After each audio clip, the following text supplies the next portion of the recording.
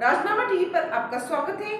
मैं प्रिया, आपके साथ। पाकिस्तान के पूर्व प्रधानमंत्री इमरान खान ने कहा है कि भारत उनके देश में घुसकर हत्याओं को अंजाम दे रहा है। ब्रिटिश मीडिया डेली टेलीग्राफ के लिए लिखे एक आर्टिकल में खान ने कहा, पाकिस्तान इस वक्त उसी रास्ते पर चल रहा है जो उसने 1971 में अपनाया था। तब पाकिस्तान ने बांग्लादेश खो दिया था। इमरान ने आगे कहा बलूचिस्तान में आतंकवाद की घटनाएँ बढ़ती जा रही है। सरकार के खिलाफ विरोध प्रदर्शन में शामिल लोगों को गायब कर दिया जा रहा है। अफ़गानिस्तान के साथ हमारी सीमाओं पर भी तनाव बना हुआ है।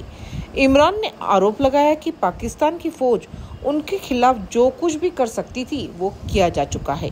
अब उनके पास इमरान को मारने के अलावा और कुछ नहीं बचा। खान ने कहा, मैं मौत से नहीं डरता हूँ। क्योंकि मेरे विश्वास में बहुत ताकत है।